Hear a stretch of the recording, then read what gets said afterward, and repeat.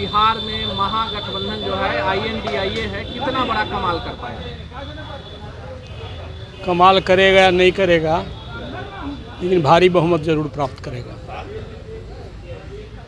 क्योंकि आपके पास अनुभव है आपने नीतीश कुमार जी से लंबी आपकी दोस्ती रही आप लोगों में संघर्ष हुआ आप चुनाव भी जीते लेकिन जो संबंध थे व्यक्तिगत वो काफ़ी बेहतर रहे। अभी आपको क्या लगता है? मैं इस बात में विश्वास करता हूँ कि बिलो दी बेल्ट हमला नहीं करना चाहिए। हम विपक्ष में रहें या पक्ष में रहें व्यक्तिगत रिश्ते को तिलांजलि नहीं देना चाहिए। राजनीतिक असहमति होती है। लोकतंत्र में असहमत होने का अधिकार ही सबसे बड़ा अधिकार है। नीति नीतीश कुमार जी में आप कितनी संभावनाएँ देखते हैं सर? काफ़ी संभावना है। प्रधानमंत्री के लिए। प्रधानमंत्री बन सकते हैं नहीं बन सकते हैं it depends upon situation circumstances कल उन्होंने कांग्रेस के प्रति अपनी नाराज़गी ज़ाहिर की है कि उसे फुर्सत ही नहीं मिल रहा है। नाराज़गी घरेलू है आपसी है। चाहते हैं कि मामला ढंग से सेटल हो जाए। और सेटल हो नहीं रहा है समय बीतता जा रहा है। यही है ऐसा नहीं है। स्कूल ऑफ़ थॉट तो कांग्रेस का कभी अलग हम लोगों का एक रहा नहीं अलग रहा है। लेकिन ऐसी परिस्थिति पैदा किया गांधी के हत्यारों की जमायत ने। कि वो गैर भाजपावाद में बदल गया गैर कांग्रेस से गैर भाजपावाद हो गया। तो ये सब तो जो समय संदर्भ जैसा होता है उसके हिसाब से होता है। बिहार में महागठबंधन में सीटों को लेकर ये कयास बीजेपी लगा रही है कि पेच फंस सकता है महागठबंधन में? नहीं कोई फैसला नहीं। कोई समझदार लोग हैं।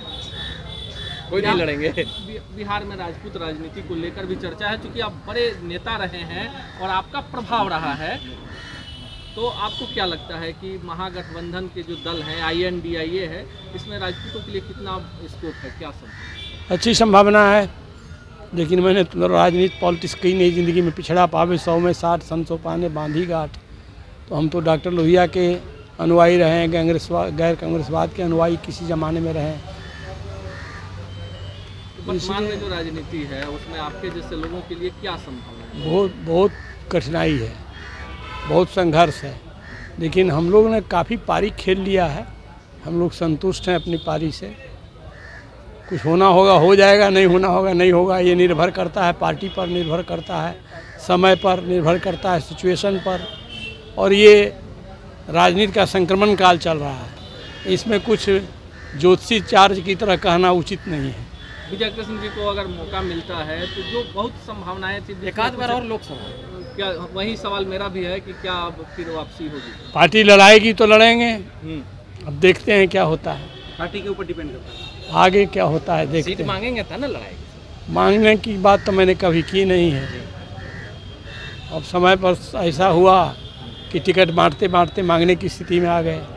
तो ये सब होता है होगा आगे अच्छा ही होना चाहिए। धन्यवाद